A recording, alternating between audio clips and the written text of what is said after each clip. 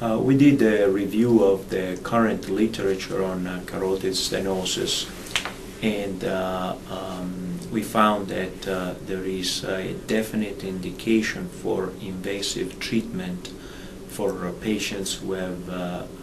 very well defined symptoms and a high grade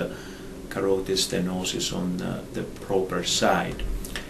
um, patients, uh, and when I uh, talk about uh, um,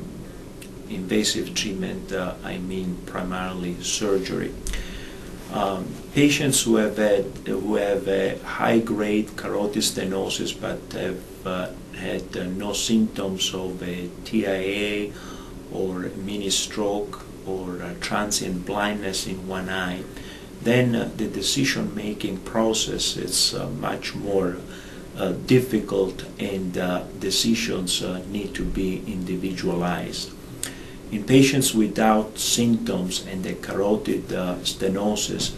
the um, risk, the yearly risk of stroke is uh, uh, fairly low and many of these patients might benefit from medical treatment without invasive treatment of their disease. The other aspect in our uh, review we looked at is the potential role of carotid stenting in patients with uh, carotid stenosis. The current stage, uh, there is uh, um, feeling that uh, surgery is the gold standard unless patients uh, are considered to have uh, risk factors that would make surgery riskier than what the acceptable risk uh, uh, for surgeries.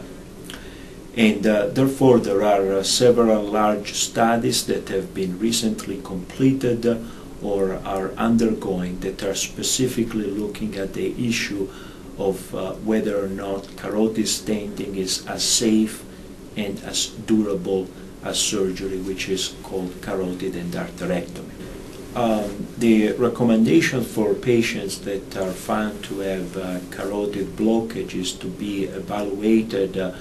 um, in, by a team uh, of uh, physicians uh, that have expertise uh, in the medical treatment of carotid stenosis,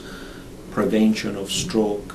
correction of risk factors, as well as uh, expertise in the invasive uh, uh, treatment of the disease when indicated.